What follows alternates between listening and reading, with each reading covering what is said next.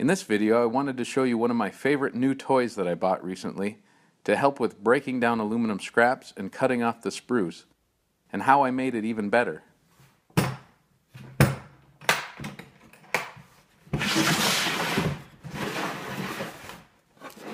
This is a Milwaukee portable bandsaw, and it is more useful than I could have ever hoped. In fact, it has me looking at my hacksaw in a whole new way. Hmm, see all that nice aluminum? Anyway, I had also been considering getting a metal bandsaw, but I realized pretty quickly that purpose-built metal bandsaws are extremely pricey. After a bit of research, I found out that many people had converted their Portaband into a fixed tabletop bandsaw. I looked at a few commercial offerings and decided to make my own and incorporate features that I felt were missing from everything that was available. I just got the parts back from the powder coater, so let's put it together. For starters, I wanted a clampable edge all around the perimeter for quickly setting up jigs, etc. The top is quarter inch mild steel, treated with LPS3 rust inhibitor. Here I am installing the girdle with the integrated switch and outlet. I wanted an incorporated switch to make turning the saw on and off as easy as possible. I also did not want a slider groove across the surface of the table. I could make this with a piece of bar stock and a sled if I really wanted to. Otherwise, 90% of the time it would just be in the way.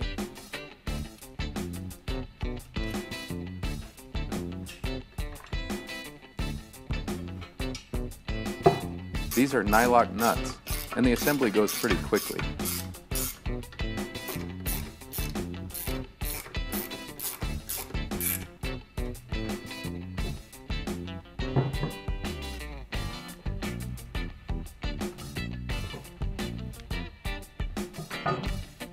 I also wanted a triangulated base for more stability and to resist overturning.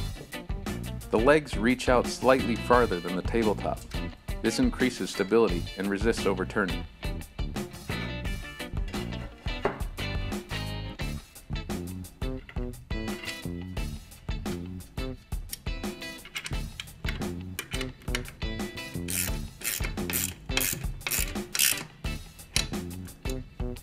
There are holes in the feet, as I intend to mount the Portaband table to a work surface eventually.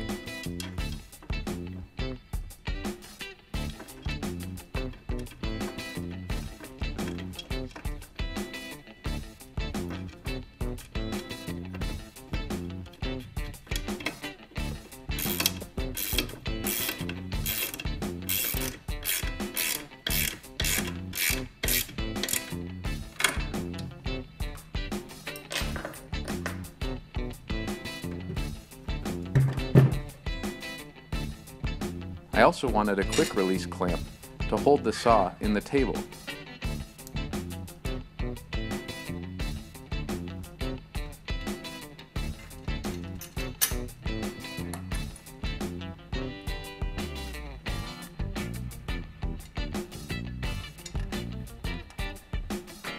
This is the Camlock quick clamp that holds the saw in place.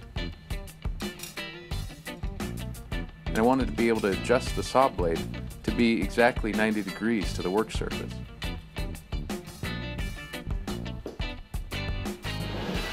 Now to install the saw.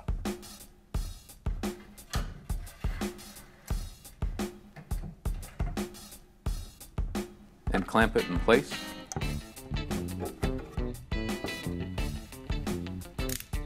And then adjust the saw for 90 degrees. Once this is adjusted, it should stay that way. I'm holding the trigger closed with a Velcro strap. The speed can be adjusted with the saw's built-in dial. Plug in the power cable, and then the saw, and flip the switch.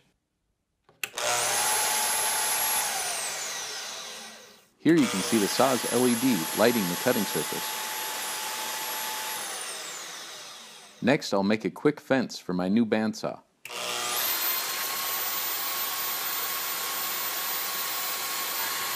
I have a fairly coarse blade installed now, as I'll primarily be cutting aluminum.